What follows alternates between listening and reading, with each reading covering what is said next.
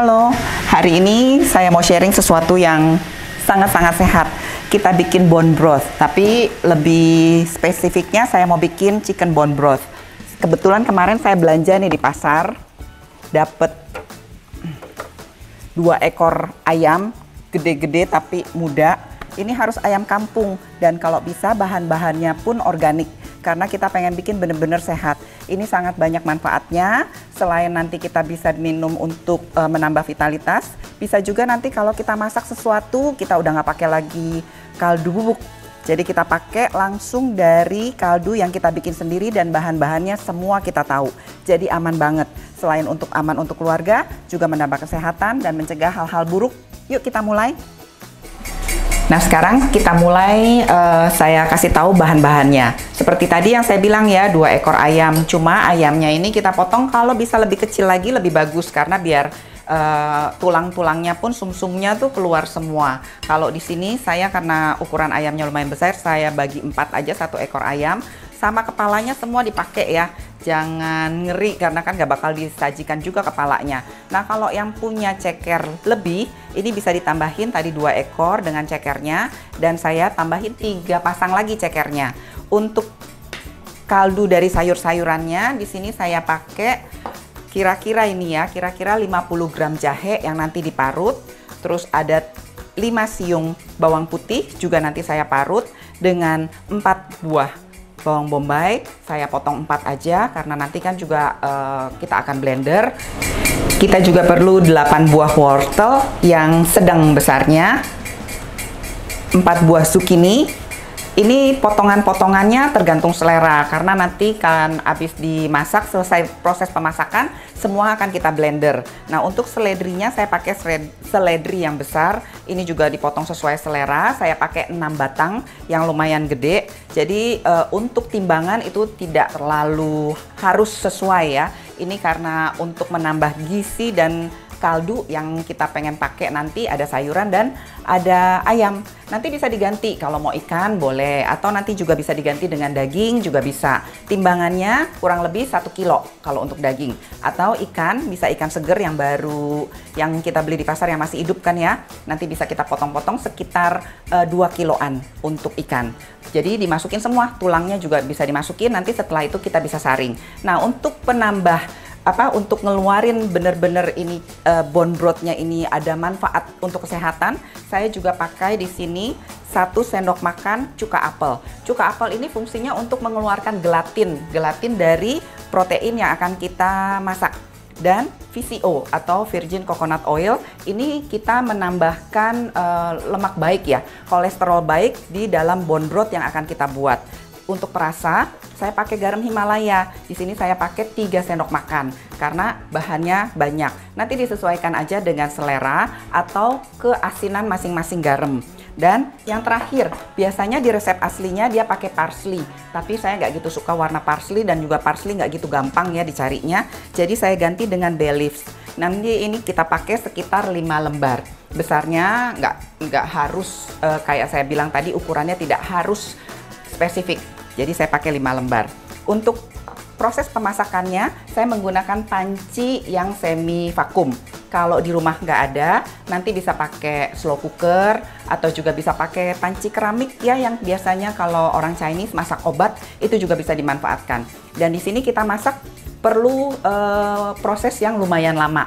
Jadi boleh start dari 7 sampai 12 jam. Kalau slow cooker kan enak ya, kita tinggal colok, terus nanti dia bisa mati sendiri. Atau saya juga punya panci konduktor yang bisa saya set biasanya 80 derajat untuk 12 jam. Tapi kalau untuk panci konvensional, cuma saya mau bilang karena itu tutupnya nggak terlalu kenceng, jadi kita e, harus tambah air karena nanti kalau pem proses pemasakan uapnya menguap itu biasanya airnya menyusut. Kalau untuk panci saya semi vakum, saya perlu 3 liter air karena dia nggak bakalan ber berkurang airnya walaupun proses masaknya lumayan lama. Apalagi kalau panci periuk ya yang dari tanah liat Coba kalau saya pakai 3 liter, nanti ditambahin empat setengah atau sampai 5 liter. Nanti dilihat lagi untuk penambahan airnya. Jangan ditinggal tahu-tahu nanti uh, kaldu kita gosong. Jadi apinya juga harus benar-benar kecil karena proses memasak yang panjang.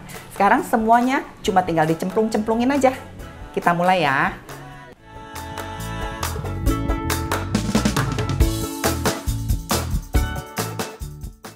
Jangan lupa biar nggak patah, sayapnya selalu saya sempilin ke belakang.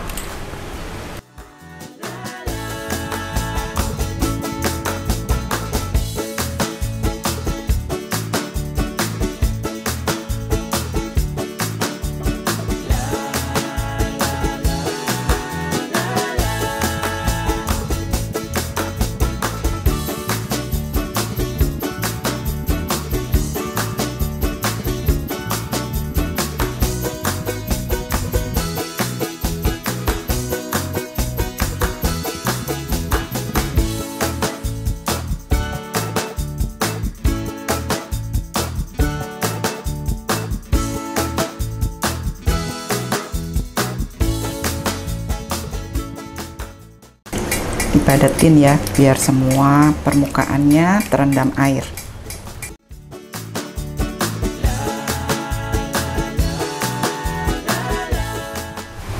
Setelah bahan-bahan semua masuk di dalam panci, tinggal kita taruh di kompor, dibikin dulu mendidih. Setelah mendidih, kita kecilkan api sampai 12 jam.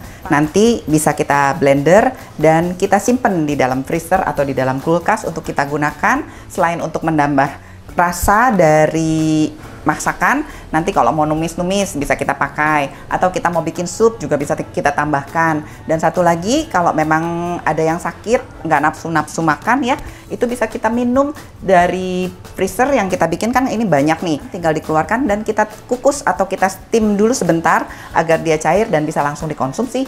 Nah kalau yang pakai panci konduktor seperti saya punya kita pakainya 80 derajat dan 12 jam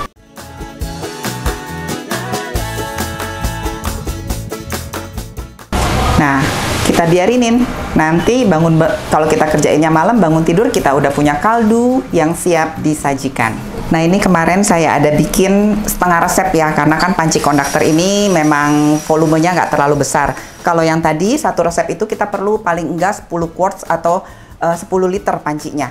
Nah, ini udah jadi semalam saya udah bikin wangi dan cakep banget warnanya kalau ada yang punya botol-botol seperti ini, nanti kan kita bikinnya banyak. Jadi kita bisa simpen di sini, langsung panas-panas simpen freezer ya, karena biar jangan kasih kesempatan bakteri masuk.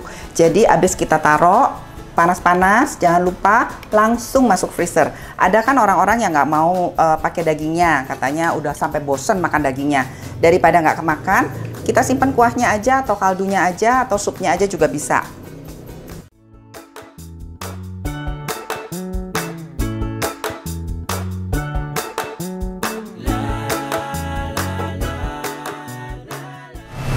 Nah ini nanti kita simpan di dalam kulkas kalau memang belum sampai lebih dari seminggu mau dikonsumsi bisa taruh di chiller aja. Kalau lebih dari seminggu masukin freezer ya. Nanti besok kita lihat pasti ini udah bergelatin. Kita simpan. Dan kalau yang mau dipakai sayuran dan uh, ayam daging ayamnya bisa kita blender dengan uh, blender bersih tentunya jangan masukin pakai blender yang bareng-bareng bumbu nanti berubah uh, rasanya.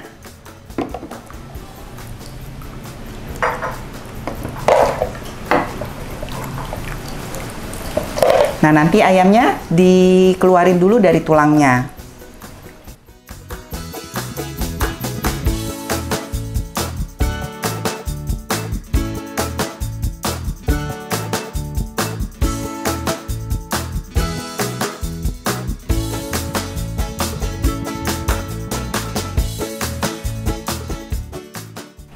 Kita haluskan sesuai kapasitas blender.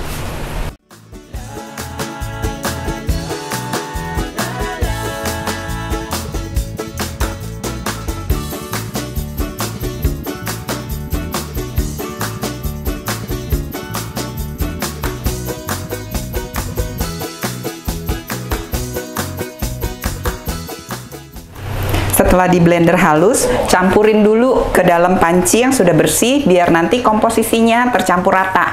Kan kadang-kadang kan kalau kita masukin satu ukuran blender, nanti ada yang lebih banyak ayamnya atau ada yang lebih banyak sayurnya, ya. Sekarang kita selesaiin semua sampai habis.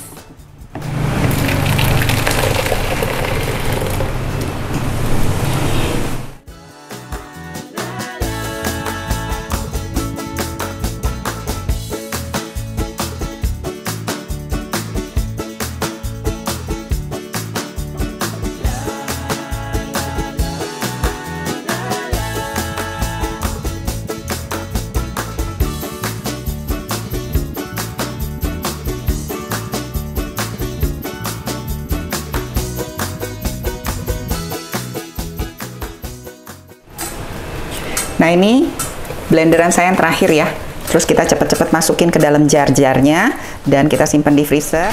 Nah ini semua udah saya blender, udah dijadiin satu. Kita masukin ke dalam satu panci, kita aduk rata biar nggak ada yang satunya lagi banyak sayurannya atau satunya lagi lebih banyak kuahnya atau satunya lagi lebih banyak uh, dagingnya. Jadi ini udah saya campur dan ini ada botol-botol kosong bekas pakai ya, ada yang bekas madu, ada yang saya beli makanan. Ini nanti bisa dicuci dengan air panas dulu, terus kita bisa simpan di dalam sini. Dan kebetulan saya juga ada satu temen yang sedang sakit cancer.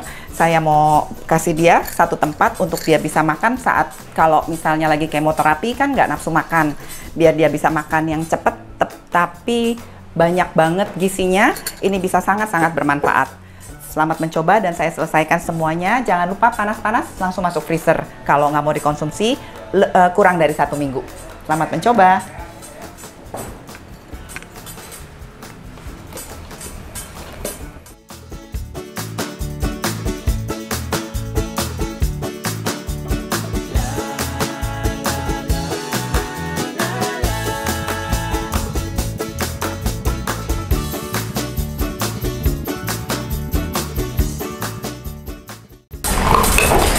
Jangan lupa kalau masukin ke dalam jar, jangan sampai penuh maksimal. Kasih dia space buat kalau saat dia beku akan memuai.